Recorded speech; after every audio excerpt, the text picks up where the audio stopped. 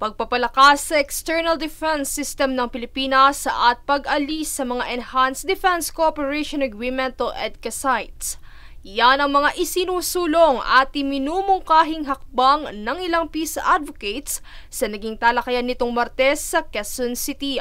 Ito'y bunsod ng mga kasalukuyang hamon na kinahaharap ng bansa patungkol sa teritoryo at seguridad ng mga mamamayan.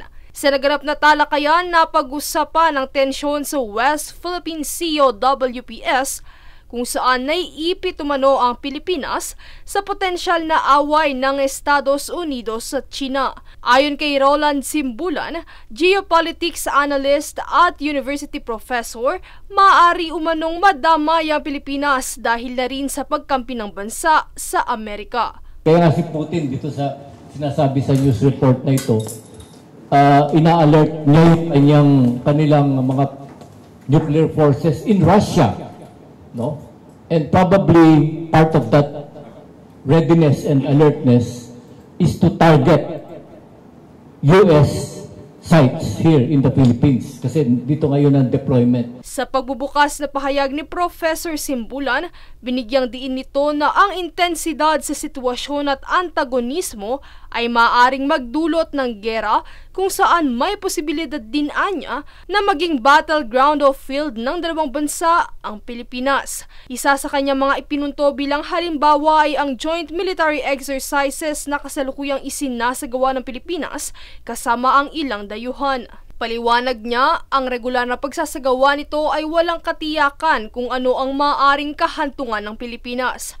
Kaya't git ni Simbulan, alisin na ng gobyerno ang mga EDCA sites sa bansa dahil kung ito ay sakaling madagdagan pa, maaari nitong sakupin ang buong teritoryo.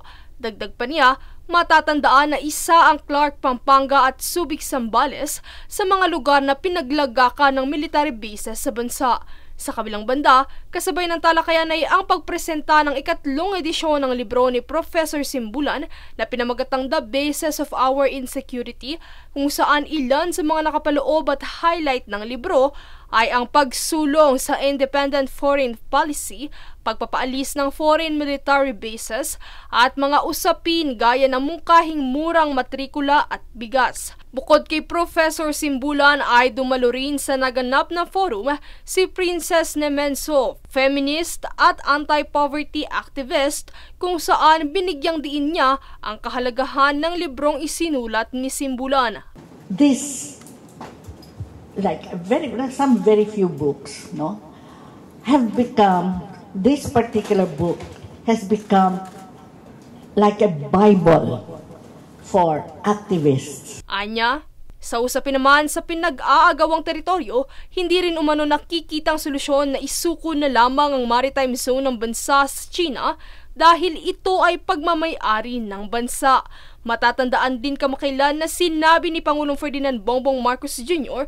na hindi papaapi at pasusupil ang Pilipinas sa panahong nagigipit ito sa sariling teritoryo. Sa kasalukuyan patuloy ang pagpapatrol at pagantabay ng Coast Guard at mga hukbo ng bansa sa WPS. Princess Castro nag-uulat para sa One Media Network.